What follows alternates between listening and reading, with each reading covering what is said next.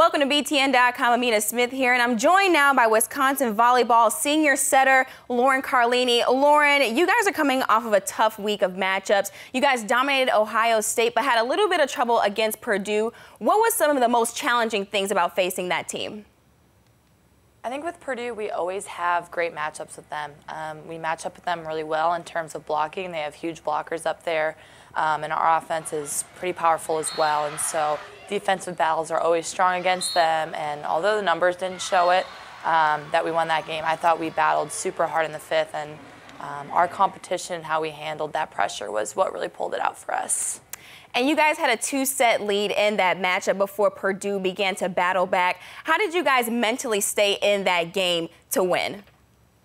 Yeah, I mean, sets three and four were tough. Uh, we really had to battle, and they were they were getting some gain, and um, they were finding ways to score. And so in the fifth, we we said three words: strength, confidence, execution. And those were our main points that we focused on. And winning that huge second rally um, really got it going for us. Our defense always pulls through, and I think that's what really pushed us through in the fifth set. And it's your senior year, your last shot at an NCAA title. Yeah. Is that something that's constantly on your mind during games and in practice?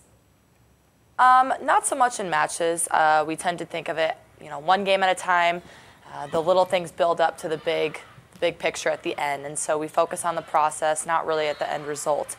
During practice, I think about it probably a little bit more. Just, you know, am I getting better this practice? Is the team getting better this practice? Um, are we where we at? Are we where we need to be to win a national championship? Are we going to get there? So um, those are the questions that we're constantly asking ourselves, and we're focusing on that every day in the gym and every time we step on the court. Are we contending like a national championship team? And Wisconsin is back in the number one spot for the NCAA RPI. How did the team react to that, and does that do anything for you ladies' confidence? Um, you know, we don't look at polls or rankings or stats a ton as a team.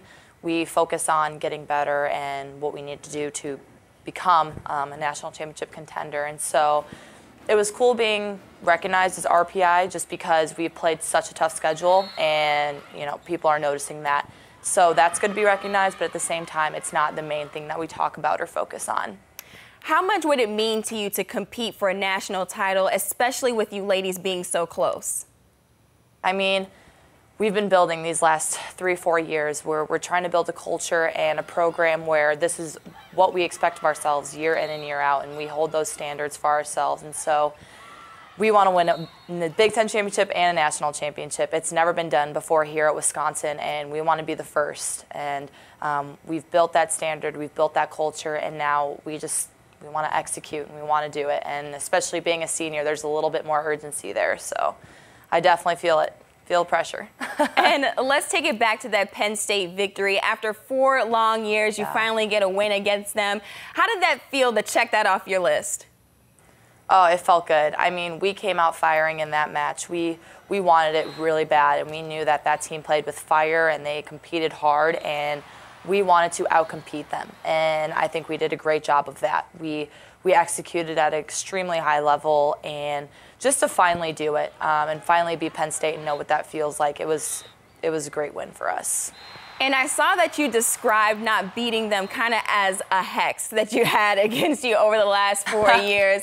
What made that opponent so difficult to beat?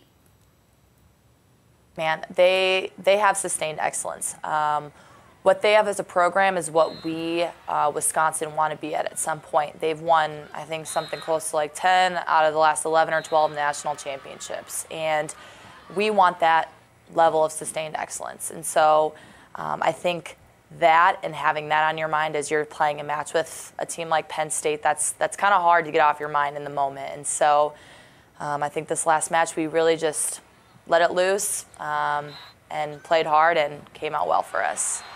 Right now, we're two weeks out from the end of the regular season, three weeks out from the NCAA tournament. Guys, how are you preparing to become national title contenders?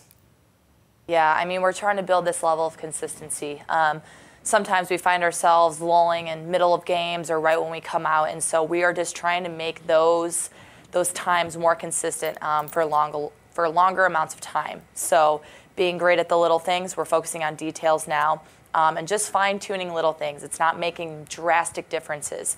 It's what are we doing every day in practice, and is this helping us um, to win a national championship um, in about a month here? So, really just focusing on the details, on the process, um, you know, not making huge changes so far. And being a senior is always bittersweet. What's the fairy tale ending that you're envisioning for your team this season? Oh, well, hopefully in three weeks we um, win a Big Ten championship at Minnesota. That's what we're going for. We need one more loss from Penn State, I mean, um, Nebraska.